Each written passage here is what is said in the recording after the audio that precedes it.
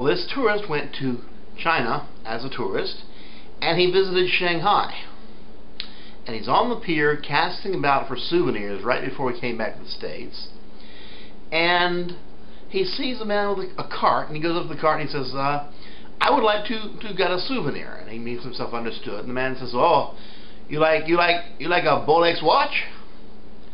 And the man says, you mean a Rolex watch? Oh no, Rolex watch, original one. Says, no, no, I don't want a Rolex watch. What about Vikimoto Pearl? He says, do you, do you mean a Mikimoto Pearl? Mikimoto Pearls?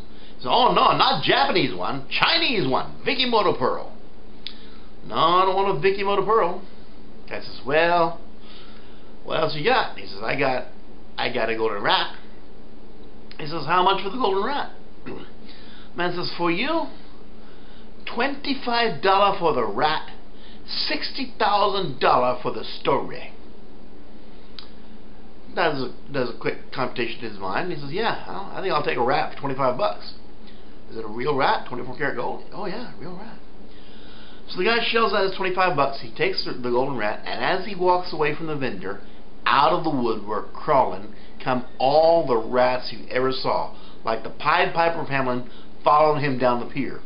And he hustles and he hustles and he goes faster and faster and faster, and the rats keep coming, so he starts running, the rats keep coming, so he climbs up on a lamppost and hurls the golden rat as far as he can out into the into the bay.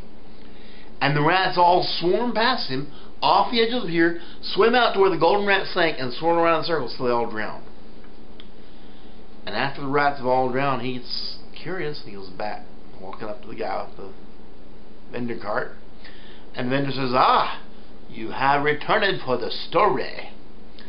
And then says, Oh no, I don't want the story about the golden rat. I want to know, do you have a golden lawyer?